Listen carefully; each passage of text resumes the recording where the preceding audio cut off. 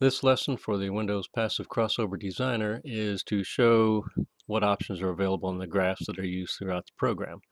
When you first load a session file, previous session file, or you load some raw files and then do some some work with them and have a design, a crossover as you can see here, you'll start out with the two curves that you see displayed. The the graphs across the application are pretty much the same. Uh, most of the options are the same. Some things are different depending on which particular graph you're looking at. Overall, the functioning is the same. When you start out, what you're going to see is, as you see here, two curves on each graph. In this case, we're looking at the tweeter. It's going to be representative of the graphs in the, uh, in the application. The blue curve is the raw data curve. The red curve is the EQ'd curve what we have here is the raw tweeter in blue. On the left, the SPL. On the right is the impedance. If you take a look around the eh, the periphery of each of the graphs, you'll see that you have a number of options. Starting with the graph on the left, at the top you have plus minus on the left.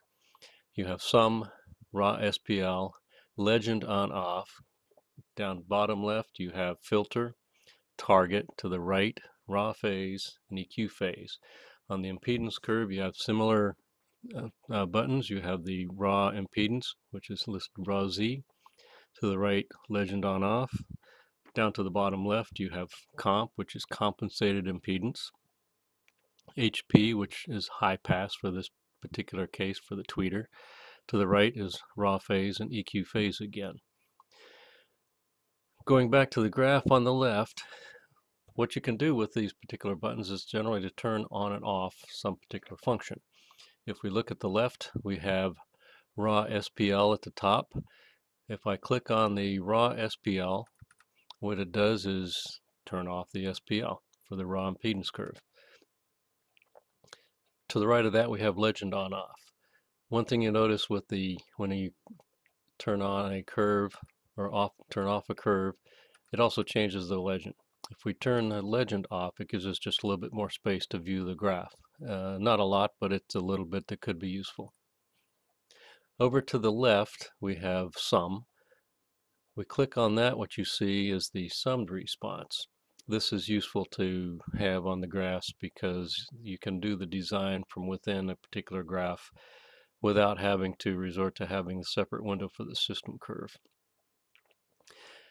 When that's displayed, if you move over to the plus and minus push button, that inverts uh, the tweeter connection. If we click it once, you know, when we start off, you'll see the the connection says normal. Click it once, it says it's inverted. Notice two changes occurred down on the graph. One, the summed response changed due to the inverted tweeter and then we had some extra data appear. The scale went from 100 to 20,000 down to 10 to 20,000. This is because the curves automatically extend the scale depending on the data that's displayed within the scale, within the curve. So, so now what we have is for this curve is data below 100, so it extended automatically putting that back normal then we can turn it off. Move to the next one we'll turn off the raw SPL down at the bottom left we have filter tar and target on the left. If we click on the filter what this shows is the actual filter response of the electrical filter the high pass in this case which is all defined by these elements over here on the left the next one is target. Click that, we have the acoustic target in this case, a high pass function. To get that, you, what you do is you either import a high pass target, click on it, brings up a standard dialog for uh, opening a file, or you can select the desired high pass from a pull down list. In this case, we started off with a fourth order Linkwitz-Riley, but you can see we have a number of options here. You can either click on it directly, or if you want to scroll through, click on the, the, the selection box and then you can use the mouse wheel and scroll through the various uh, high pass targets that are available. So we'll go back to the Linkwitz-Riley, fourth order.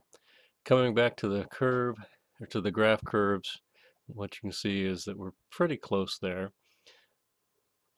If you want to see what the actual data is, there's a nice option built into the context menu. Right click on the, any of the graphs brings up a context menu which has a number of options that it uh, has available.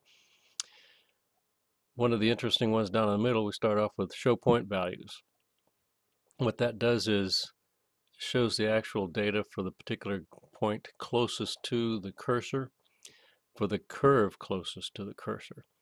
That's where there's a problem with that. You can see the sudden change between these two. It's very difficult to be sure that you're looking at the one you think you're looking at. So it's nice just to turn off, in this case, the uh, target so that now you have a single curve. And when you move the cursor along, you know that you're looking at that particular curve. Right click again, turn it back off. On the bottom right, we have raw phase and EQ phase. It's simply the phase data for the raw data. If we click the raw phase. That goes along with the raw SPL, similar colors, lighter color for the phase. And then the EQ phase. And the EQ phase is the response of the uh, the phase after application of the crossover.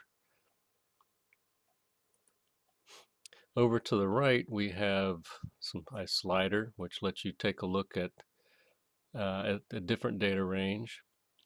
Notice that the phase doesn't change since it's always 180 to minus 180 and wraps around, so we don't actually need to, to slide that. We don't zoom that particular one in. On the bottom, we have a slider for frequency. Inside, we have a a rather useful option if we click on some just to show additional information. If you click and drag, you can highlight a particular section that will zoom to that section automatically. So you click and drag. When you release the mouse, it zooms in. You can do that multiple times, any number of times you want, any level of detail that you want. To go back out, you right click Notice down in the middle, we now have unzoom and unzoom, undo all zoom pan. Those were grayed out before we zoomed in since they, they had no, no functioning at the time. We can do undo zoom and we do one level of undo. If you undo all zoom pan, it goes back to the beginning. On the right click context, there are also two additional uh, two additional options at the bottom. One is a save high pass acoustic response. Another save high pass filter response. You do the save, it simply pulls up a save dialog. You save it by default as an FRD file. Other right click options in the context we have copy so that you can copy this particular graph and paste it to a program uh, for manipulation later if you want or printing out however you whatever you want to do with it. Save image as pulls up a save dialog as well for the various file types.